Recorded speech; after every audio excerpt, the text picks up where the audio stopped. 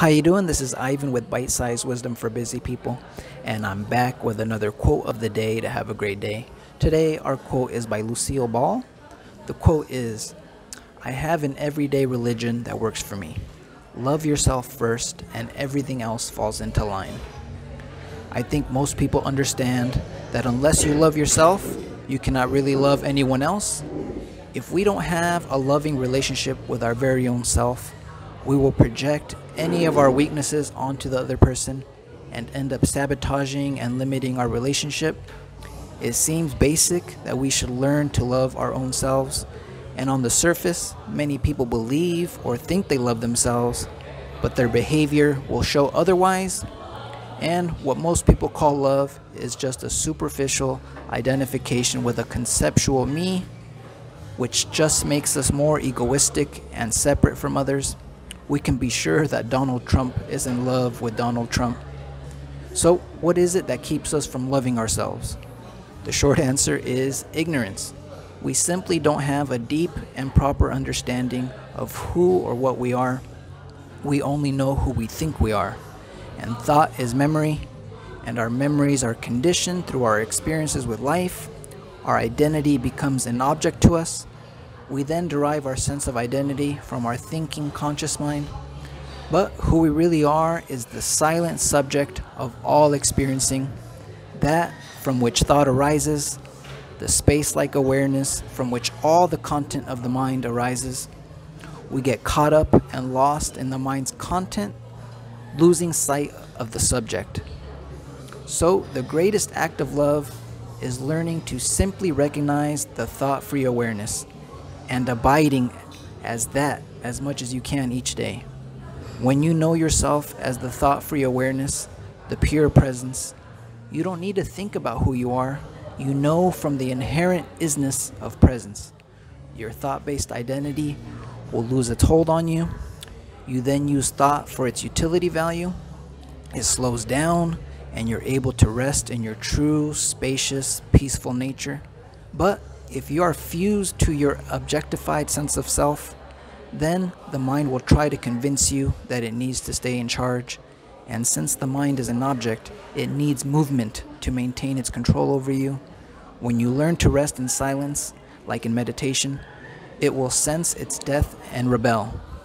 But this is also why it's important to develop a friendly relationship with your mind, with your ego. Being an object, it has no inherent intelligence of its own, it can only refer to other thoughts.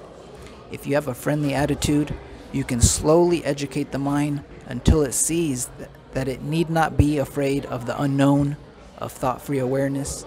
Then you can be in a position where the mind surrenders on its own. Directly coercing the mind to be quiet doesn't work, simply because you're giving it energy to continue its movement and apparent identity.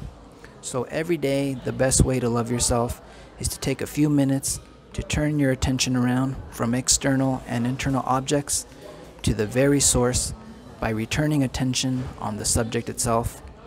You can do this by gently observing your thoughts arise from awareness and subside back into awareness and learning to intuit that that that which sees thought arise and subside is awareness itself and rest as the background. It will take some time and self knowledge to properly distinguish objectless awareness because initially thought will imitate and pose as the observer, and since it has the ability to reflect presence, it can try to claim that it is awareness that is observing, but this would just be thought observing thought, which many seekers get stuck on, believing they are seeing from presence.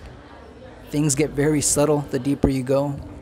In time, if you are sincere and diligent in your self development work, you will come to recognize objectless awareness by inner taste and abide in your presence more and more until it becomes your predominant way of being in the world. It will be a palpable experiencing of awareness. Then you can work on integrating and becoming a balanced human being a holistic vision of both the spiritual and human dimensions of life. This is when you will become the master. Whether there's thought there or not won't matter, since you will be established in your real identity. The mind will then be in its proper place, of being our servant. And as our quote mentioned, then everything else will fall into place. Alright, guys, that's it for today. I hope you enjoyed today's quote and topic. If you did, please help me out and hit the subscribe button, the like button, and please share with anyone who may find my content to be valuable. If you are new to my channel, check out my Essential Self Development playlist. There's a lot of good stuff there. And until next time, wherever you are in the world, I hope you're doing well. Take care. Peace.